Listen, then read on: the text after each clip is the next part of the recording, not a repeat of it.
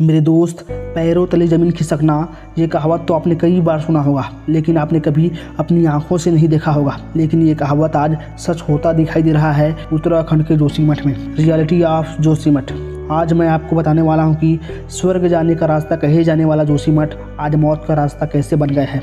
आखिर कैसे आज जोशीमठ मृत्यु लोक का रास्ता बन गया है?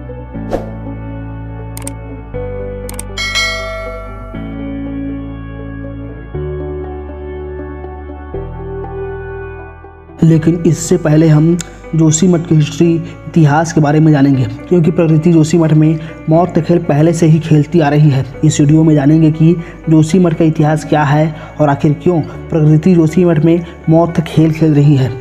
नमस्कार मैं हूँ सेवक और आप देख रहे हैं मेरा YouTube channel Minds Break. Joshimath Uttarakhand में एक जिला है चमोली वहाँ पर स्थित है। जोशीमठ शहर पहाड़ों पर बसा है जहाँ की जनसंख्या 2011 के जनगणना के अनुसार लगभग 17,000 था जो आज बढ़कर लगभग 25 से छब्बीस हज़ार हो गई होगी।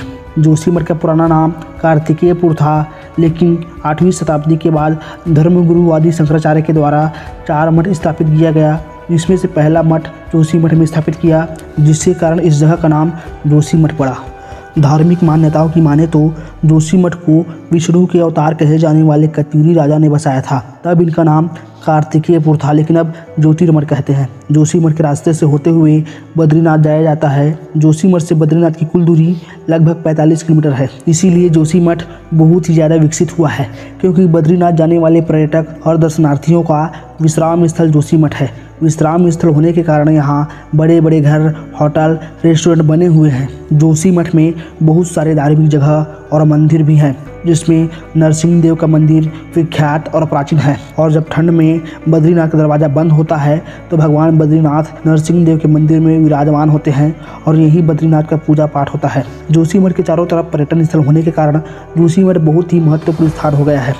इसके आसपास औली, बद्रीनाथ नीति घाटी जैसे सुंदर पर्यटन और धार्मिक स्थल हैं, जिसके कारण जोशीमठ में हमेशा बाहरी लोगों का आना जाना लगा रहता है। कहा जाता है, जोशीमठ शहर का निर्माण 3000 वर्ष पहले हुआ था। जोशीमठ का निर्माण एक भूस्खलन, यानी पहाड़ के कुछ हिस्सों के खसकने के कारण हुआ था। अब हम समझते हैं जोशीमठ की आपदा के बारे में। जोशीमठ में ऐसी घटना पहली बार ही नहीं हुआ है। जब जोशीमठ पहले कार्तिकेयपुर था, उस समय यहाँ कत्यूरी राजाओं का शासन था। उस समय भी ऐसी आपदा सामने आया था, जिसके कारण यहाँ के राजा काचाल देव को जोशीमठ को छोड़ना पड़ा था। उसके बाद अठारह सौ चौरासी और 1970 में जोशीमठ के करीब ही और ऐसे ही घटना को देखा गया था और ऐसे ही घटना जोशीमठ में कई बार आ चुका है।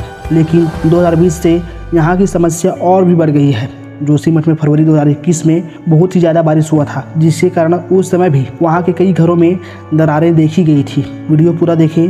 आगे हम आपको ये भी बताएँगे कि ऐसी घटना और आपदा जोशीमठ में क्यों आ रही है बार बार बताया जा रहा है कि ऐसी घटना को लेकर 50 साल पहले ही जानकारी दे दी गई थी। जब 1970 में भी ऐसी घटना हुई थी, तब इस जगह का सर्वे करने के लिए एक आठ सदस्यों का टीम गठित किया गया था।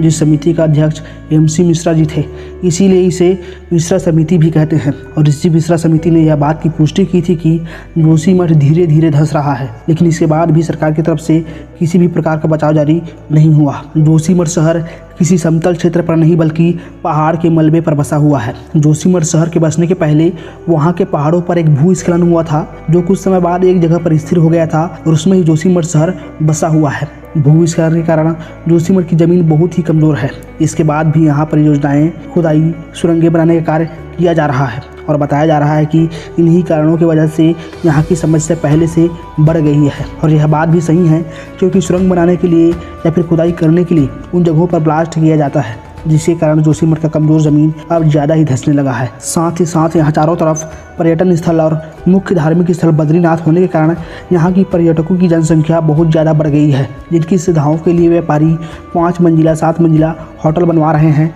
एक कारण यह भी है जोशीमठ की ज़मीन के धंसने का। बाकी सरकार से निवेदन है कि जोशीमठ वालों के लिए उचित व्यवस्था करें और उनकी मदद करें। और दर्शकों से निवेदन है कि ऐसे ही वीडियो पाने के लिए चैनल को सब्सक्राइब कर बेल आइकन ज़रूर दबा लें धन्यवाद।